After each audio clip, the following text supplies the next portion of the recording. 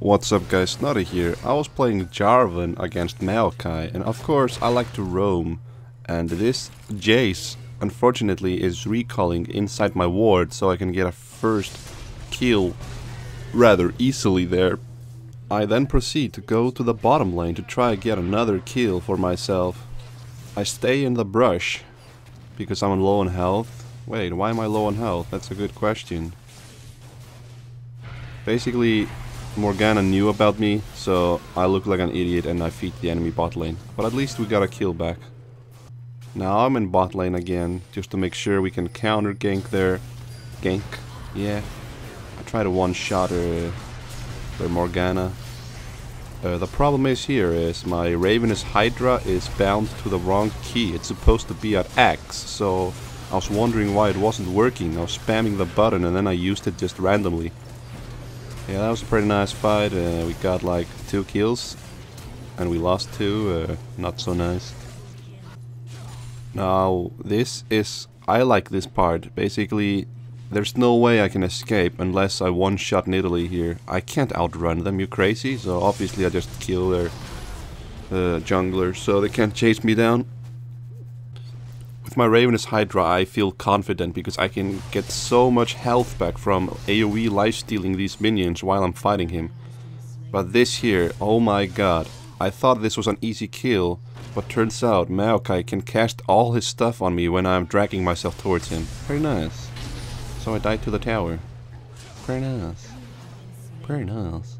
Now I'm being a top lane uh, nuisance English but uh, I find uh, enemies in their jungle. I try to one-shot Nidalee again. Basically, she almost gets away, but my Ravenous Hydra touches her. And this, I really wanted to make a good play here, where I kill the Jace and I get away. So basically I pretend I'm running, and then I go for Jace, try to chop him down. Almost works out. But uh, Ahri then has the best play in the world. Incoming Ahri, and then she does the best flash in the world, like and then she's dead. Basically, I see all the enemies clumped together. That's just I go in and I don't care if I die. I just wanna do my AoE damage with my Tiamat, which is in fact Ravenous Hydra now, and I get destroyed. I don't care. My teammates get kills. Yeah, worth. Now this, however, is kinda stupid of me. I just spawn, and I'm all like, hey guys, I better get caught by stuff. I know I'm dead right now, so I just try to deal tons of damage, but basically I get exhausted, so I do no damage. This game looks pretty over, but are you ready for the comeback of the year? You better be, because we get destroyed right here, but you ready for the comebacks? The comebacks? People want to surrender, but no. Check this out. I teleport to the tower just barely in time and look at this massacre. Holy moly. Like, that Leona ult just totally destroyed them. And we get 5 kills and, and they get nothing except the tower. Pretty good. So that was the comeback time.